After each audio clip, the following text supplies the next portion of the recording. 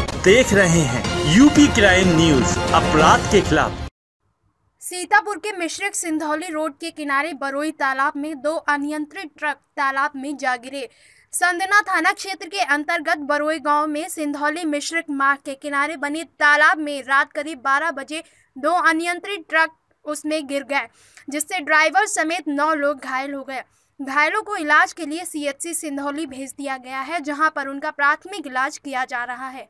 वहीं मिली जानकारी के मुताबिक भरौना से लखनऊ होते हुए बहराइच को सरकारी चावल लाद कर ले जा रहे ट्रक ने अपने साथी का ट्रक में अनियंत्रित खराबी आ जाने से उस ट्रक को अपने ट्रक से टोचन करके सिंधौली लिए जा रहा था। तभी बरोई गाँव के करीब पहुँचते ही चावल से भरा ट्रक अचानक अनियंत्रित होकर गहरे तालाब में जाकर पलट गया, जिससे वो ट्रक पूरी तरह से तालाब के पानी में डूब गया और दूसरा खाली ट्रक आधे तालाब में जाकर रुक गया। हादसा होते ही मौके पर इकट्ठा हुए ग्रामीणों ने इसकी सूचना संदना पुलिस को दी।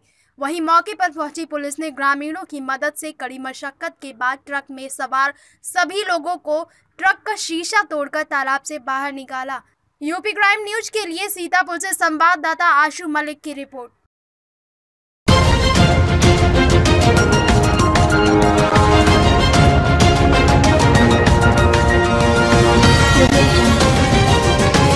आप देख रहे हैं यूपी क्राइम न्यूज़ अपराध के खिलाफ।